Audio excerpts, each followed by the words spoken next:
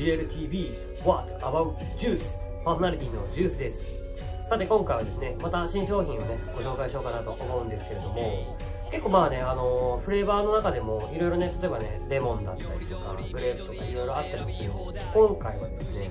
まあ、なかなかこのフレーバーの飲み物って見ない気がするんで、ちょっと珍しいなと思ってチョイスしたり、早速レビューの方を進めていきたいと思います。それではですね、今回紹介する商品はこちらです。ドデカミンピンクですね。でこちらの商品なんですけれども、これザクロのフレーバーになってるドデカミンでして、まあ、さっきも言ったんですけど、あまりこう馴染みのないね、フルーツではあるので、まあ、今回チョイスしたんですけども、まあ、このね、ザクロっていうもの自体、そもそもですね、まあ、女性の果実って言われたりもしまして、まあ、健康とか、ね、美容にもね、効果が期待されているような果物だったりして、まあ、今回ですね、まあ、このドデカミン結構エナジー系のものになってるんで、まあ、12種類のね、元気成分とかも書いてあったり、まあ、クエン酸とかも入ってて、まあ、ザクロ自体もね、結構甘酸っぱいような果物なんで、ま、今回結構ね、酸味とかね、そういう酸っぱさがあるようなね、こうドリンクになってるのかなとは思うんですけど、まあ、一体ね、どんな味になってるのか、これからね、レビューしていきたいと思います。それではですね、早速レビューの方を進めていきたいと思うんですが、まずはね、香りの方をチェックしていきたいと思います。うんうんうんうん。なんか甘い香りがしますね。結構なんかこうちょっとシロップっぽいような甘い感じですかねけどなんかこう酸っぱさの感じがあんまなかったんでね一体ねこうどんな感じになってるのかこれ気になりますね。でまたねこれね色もね、まあ、ピンクって言ってるだけあってね結構綺麗なねピンクになってますね。でねこのザクロのフレーバーどんな感じになってるのかこのままねレビューの方進めていきたいと思います。それではですね気になる味の方をチェックしていきたいと思います。いただきます。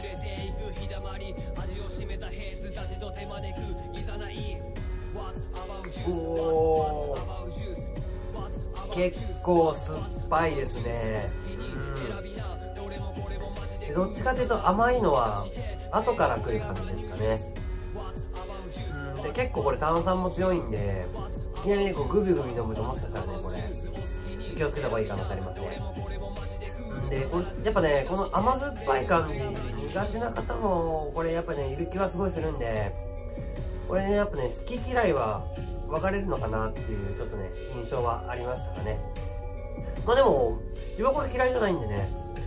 またね、これちょっとね、買ってみようかなとは思うんですが、まあもしね、気になる方、チェックしてみてはいかがでしょうか？以上、GLTV は About Juice。まあ、今回はですね、ドデカミンピンク紹介させていただきました。まあでもね、さっきも言ったんですけど、なかなかね、見かけることないこのね、ザクロのフレーバーだったんで、今回ご紹介させていただいたんですけれども、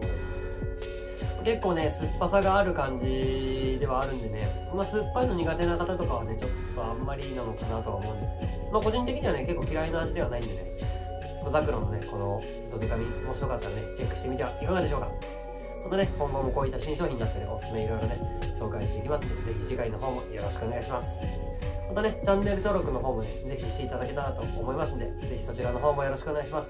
それではまたお会いしましょう。ピース